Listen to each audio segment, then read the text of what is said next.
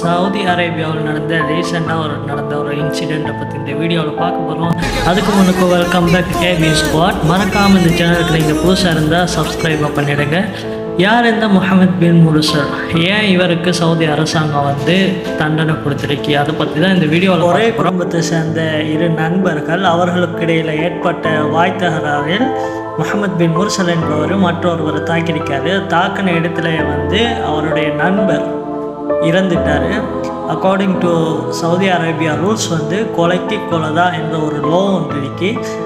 அந்த லோ பிரகாரம் அவருக்கு வந்து மரண தண்டனை விதிச்சிருக்கிறாங்க முகமது பின் முர்சலுக்கு. அவங்களோட ரிலேஷன்ஸ் அவங்களோட ஃபேமிலி எல்லாருமே போயிட்டு கேட்டு மன்னிப்புக்காரையும் மரண தண்டனை விதித்ததுக்கு பிறகும் முகமது பின் முர்சல்ற ஃபேமிலி ரிலேஷன்ஸ் ஃப்ரெண்ட்ஸ் எல்லாருமே வந்து ஆர்ப்பாட்டத்தில் ஈடுபட்டு அவங்களுக்கு மன்னிப்பு கேரியுமே அவங்களுக்கு வந்து மன்னிப்பு மறுக்கப்பட்டுள்ளது.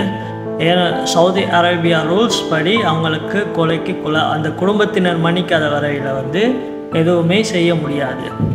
ரீசெண்டாக ஒரு இரண்டு நாளைக்கு முன்பு முகமது பின் முர்சல் வந்து தலை துண்டிக்கப்பட்டு மரண தண்டனை விதிக்கப்பட்டார்.